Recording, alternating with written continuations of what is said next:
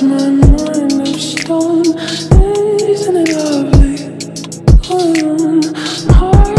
Glass, my